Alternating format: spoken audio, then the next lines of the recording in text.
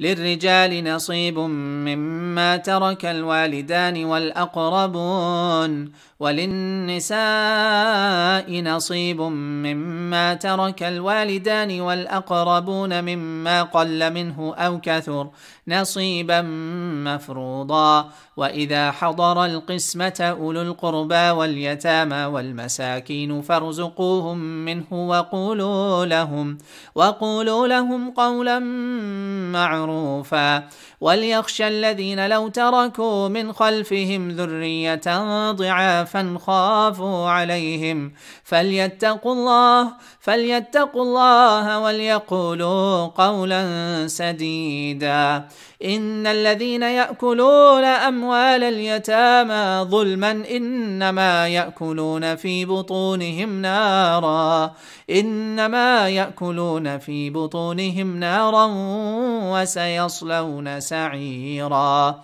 يوصيكم الله يوصيكم الله في أولادكم للذكر مثل حظ الأنثيين. فإن كن نساء فوق اثنتين فلهن ثلثا ما ترك. فإن كن نساء فوق اثنتين فلهن ثلثا ما ترك. وإن كانت واحدة فلها النصف. ولأبويه لكل واحد منهما السدس مما ترك. إن كان له ولد. فإن لم يكن له ولد وورثه أبواه فلأمه الثلث. فإن كان له إخوة فإن كان له إخوة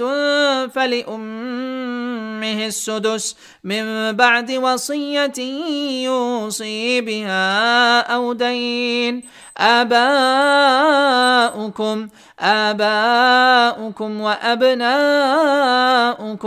لا تدرون لا تدرون أيهم أقرب لكم نفعا فريضة من الله إن الله كان عليما حكيما